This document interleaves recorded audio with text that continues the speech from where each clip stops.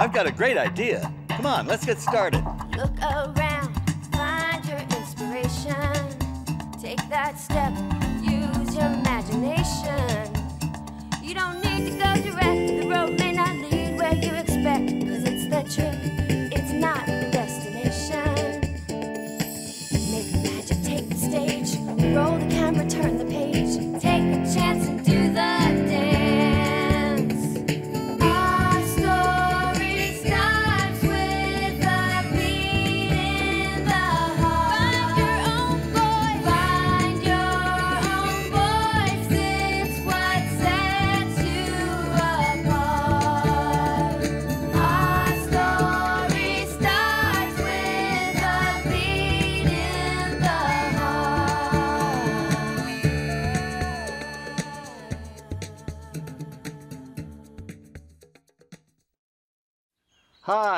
I'm Tomie DePaola. Want to tell some stories? Come on in. Gabe is making a surprise for me. I wonder what it is. I love surprises. Come on, let's go see. Oh, hi, Gabe. Ta-da! Oh, Chocolate oh, acorns. Gabe, you made these. They look delicious. Ow! Gabe, these are real acorns covered with chocolate. Nothing but the best for you, Tomie. Uh, I'm sure they're great, but acorns are a little too hard for my teeth. This is how you toughen up the old incisors. Thanks, Gabe, but I think I'll let you eat them. Don't mind if I do. Ah, that brings back memories of my first acorn. I was a baby and my mom soaked the shell in milk.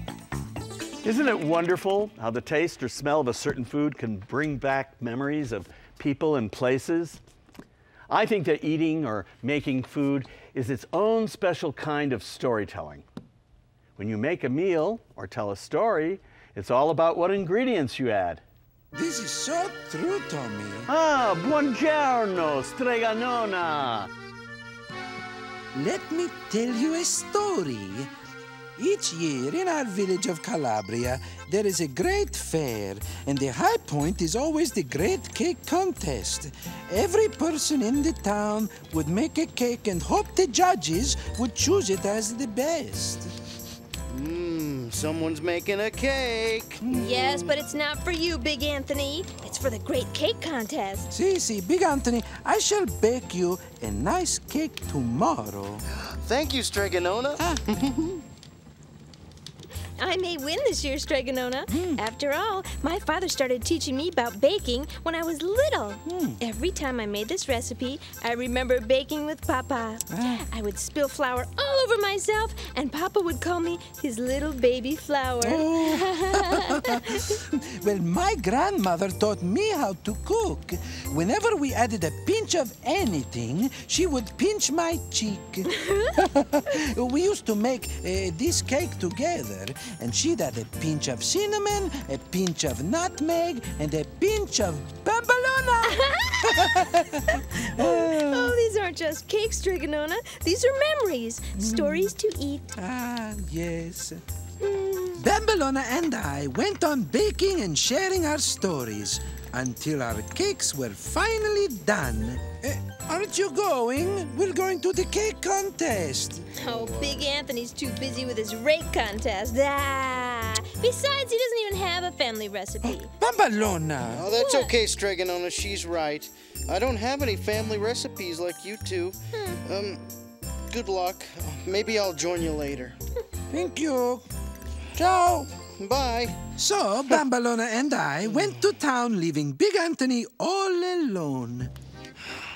I really want to enter that contest so I can show up that show off Bambolona. Oh, but what can I do? I, I don't have any family recipes. But I do have a family. And so, Big Anthony decided to invent his own family recipe.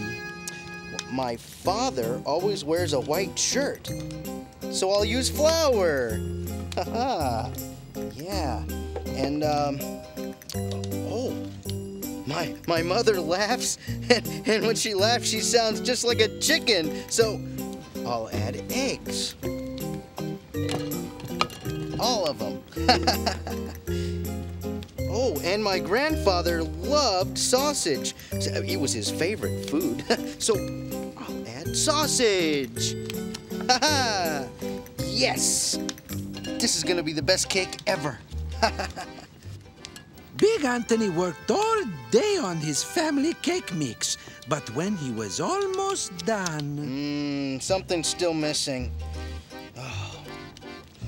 I know what's missing. I need something that reminds me of Aunt Sophie. But that bottle looks just like her.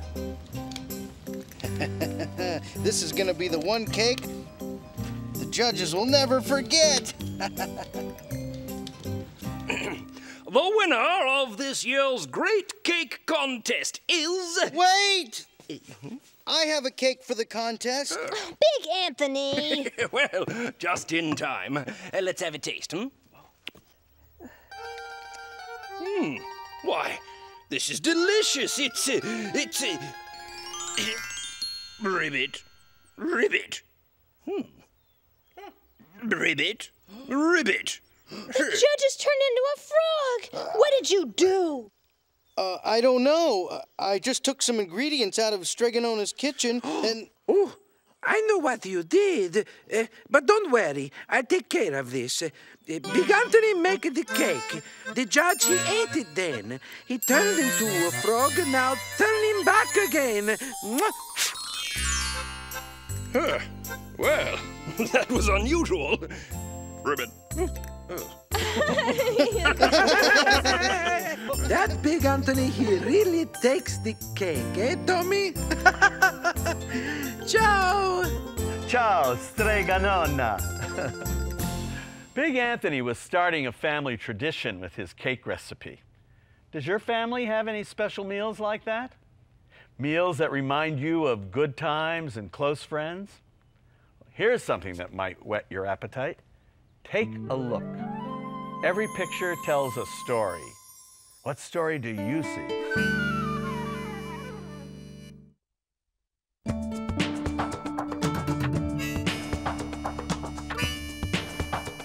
Most of us don't think of storytelling when we're eating or cooking, but lots of meals have great stories behind them. Think about Thanksgiving. Every year, we sit down to eat the traditional turkey dinner, and we're reminded of the feast that the Pilgrims and the Native Americans shared hundreds of years ago. One family I know has a pasta sauce they make every Christmas.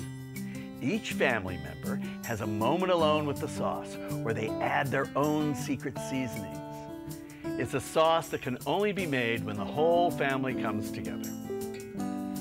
And these are the ingredients for a dish that has a personal story behind it. You see, in my family, it was a tradition that on your fifth birthday, you were allowed to do one thing that you really wanted to do. and I wanted to cook my own dinner. My parents tied an apron around me and placed me on a kitchen chair that then stood on either side of me while I cooked.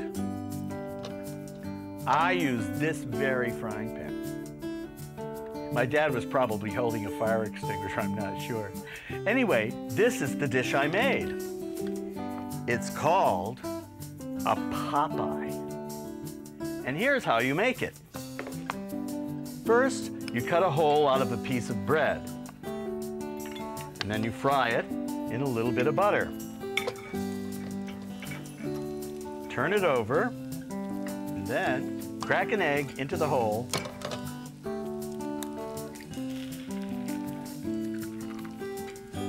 And let it cook.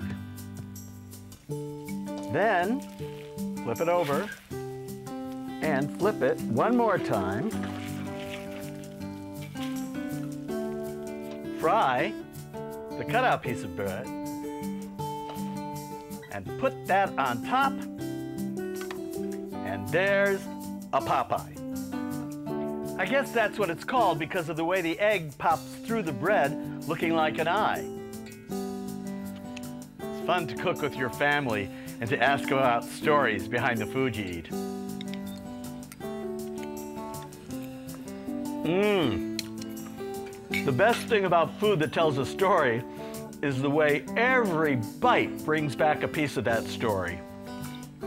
Right now, I'm remembering my fifth birthday. While I eat and remember, let's meet Mary Ann Esposito, today's guest storyteller. Hi, Tomie. Ciao, Gabe. It's Mary Ann Esposito. You know, ciao is that wonderful word in Italian that means hi, but to a lot of people, it also is a slang word that means food. And that's where I come in, because I am a television cook, but I'm a home cook too. You know, growing up in an Italian family is a very special thing. And for me, I had two grandmothers who were Italian, one from Sicily and one from Naples. Well, this is my kitchen, and this is my grandmother's rolling pin called a mattarello, what she used when she had to cut pasta. And this is her cleaver. This is what she used for chicken and other cuts of meat. And this is her chitarra. It's just a wooden frame with some wires across the top. And she'd put the pasta dough over the top and then use the mattarello. Over the top it would go and the pasta would be cut underneath the frame. All homemade pasta is, is some salt, unbleached flour, eggs, put it all together, and you get pasta. You need to put a little bit of flour on your board.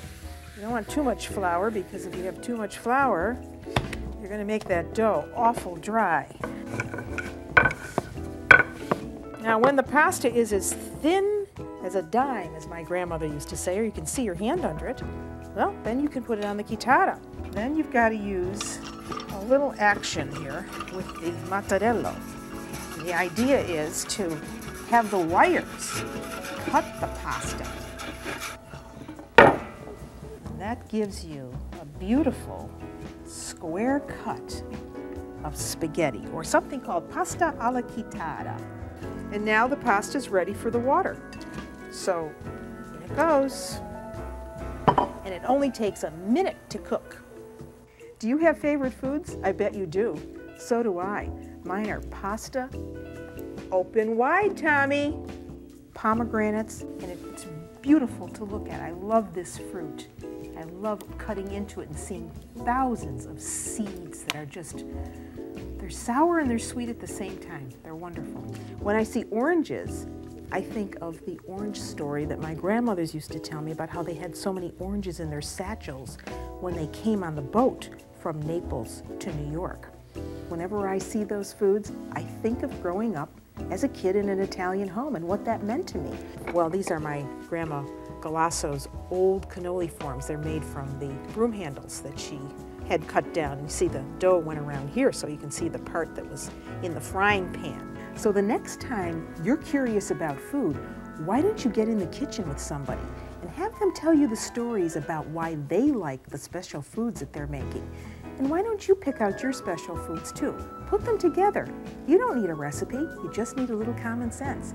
And until I see you, Nella Cucina, again, I'm Mary Ann Esposito. Bye, Tomie. Ah, thanks, Mariucci. That's my nickname for her. Watching her in the kitchen really makes you want to start creating your own special meals, doesn't it? Makes me hungry. Did you finish all the acorns? Oh, yeah. they were delicious. Will you open it for me? Sure.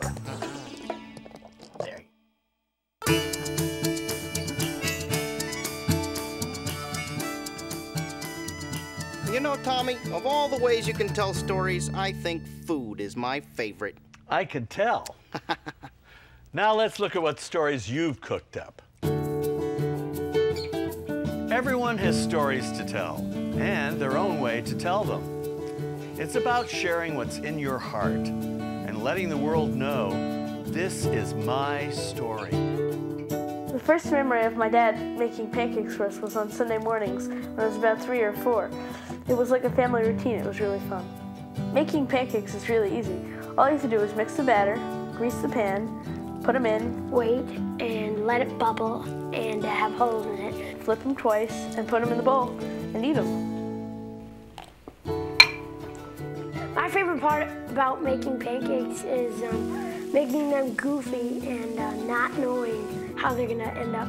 I love making pancakes in the morning because we can all do it as a family in the morning. My favorite pancakes are the kind I made right now. The the small circular kind. The reason why I like small pancakes so much is because you can pop them in your mouth. I like lots of butter and extra syrup. The best part about pancakes is eating them. So I hope when I get older I can do the same thing with my kids and have fun in the kitchen. I think I'll have some of those cashews Gabe was eating. Uh, it figures. The food's gone, and so is Gabe. Gabe! Gabe! Where'd you learn to make chocolate acorns? My grandma showed me how. Ooh. My grandma showed me how to make ice cubes. Trash souffle. Henway. Henway? What's a henway? Oh, about six pounds. See, hen is a bird and it weighs. Uh, never mind. Anyway, Tomie says almost every meal we make or eat has a great story behind it. Mmm, all this chow chatter has me salivating for something symphonic. Yeah. What'd he say?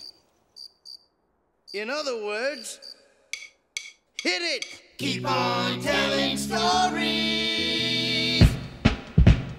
Hey, check out this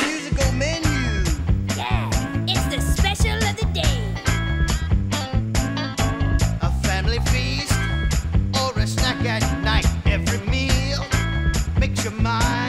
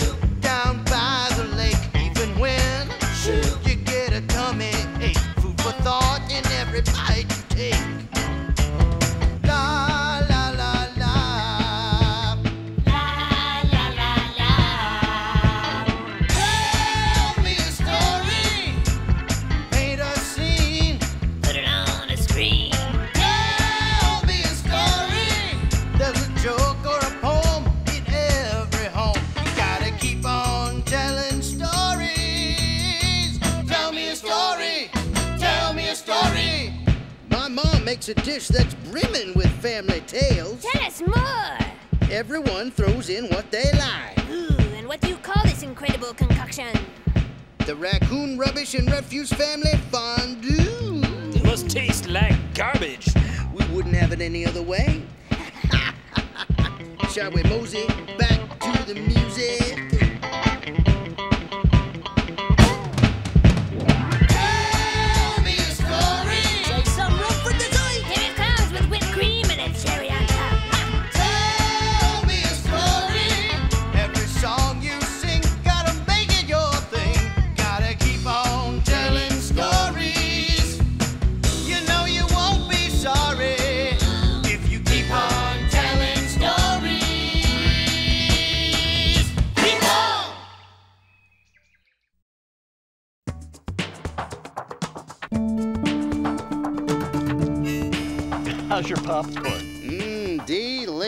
Whenever I eat popcorn, it makes me think about going to the movies with my friends. I know what you mean.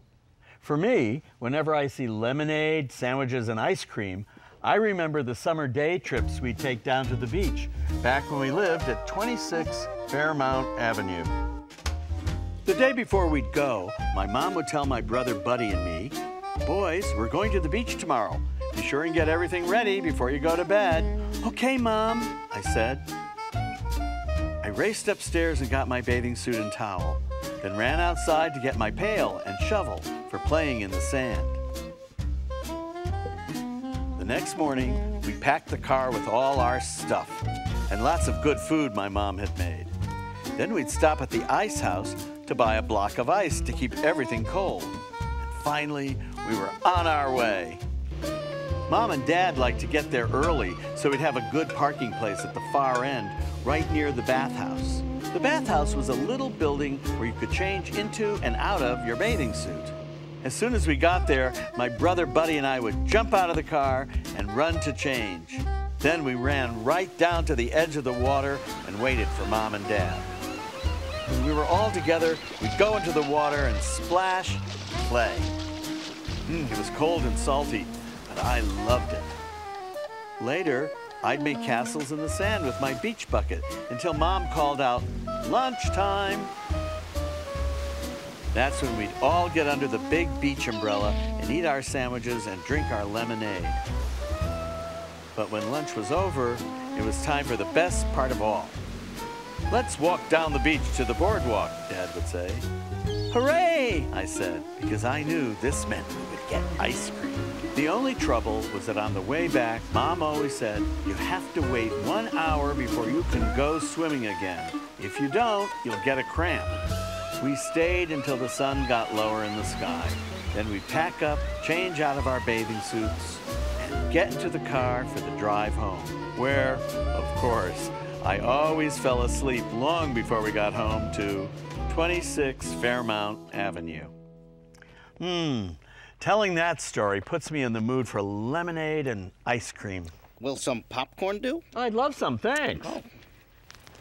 So, what do you think of food as a way to tell stories? Delish. Stories can fill up your heart, but when you tell stories with food, they also fill up your stomach. I'm not full. I'm still hungry. Oh, as always. Remember, keep telling stories. Come on in, Tomie. The popcorn's wonderful. I think I'm going to need a bigger bowl. Want some kernels?